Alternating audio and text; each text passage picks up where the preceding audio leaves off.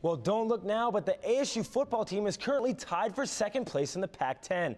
The Sun Devils are 2-1 in conference play after a thrilling 24-17 victory over Washington on Saturday.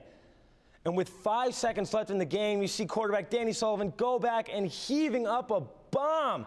Chris McGaha coming down with it for the win. They go up 24-17. Fans were going crazy. The team was loving it, and everyone was talking about it still on Monday.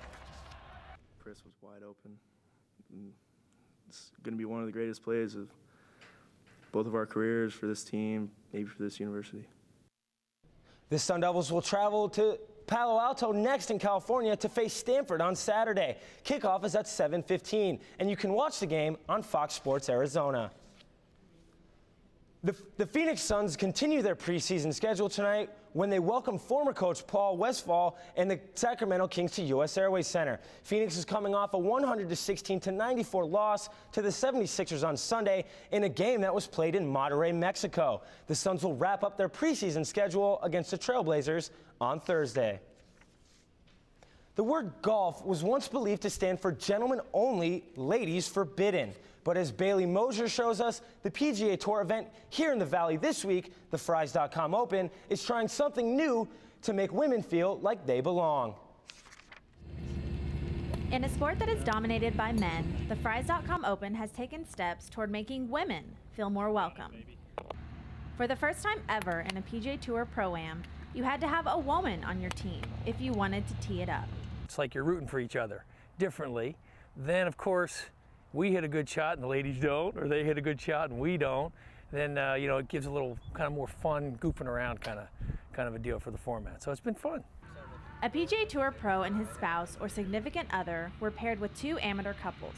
The format was a modified scramble where the men played from the women's best drive and the women played from the men's best drive. This is kind of a fun event. It's not as a it's an official pro-am. It's not as intense as say walking and playing your own ball the whole way. Some of the women participants included professional golfers and ASU alumnae Blair O'Neal and Anna Nordqvist.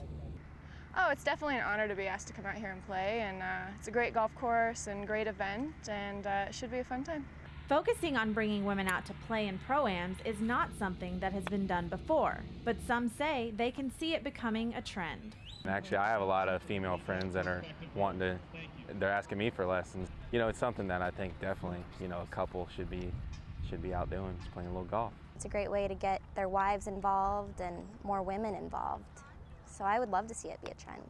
A trend that will have more women teeing it up and also showing up in the crowds when the big boys hit the links on Thursday.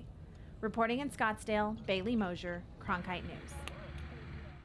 The actual PGA Tour event will kick off this Thursday at Grayhawk Golf Club. And while you won't see any women in the field, you can be sure to see them cheering on from the stands.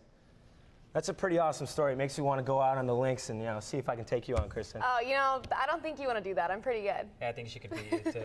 yeah, she probably could. I'm terrible at golf.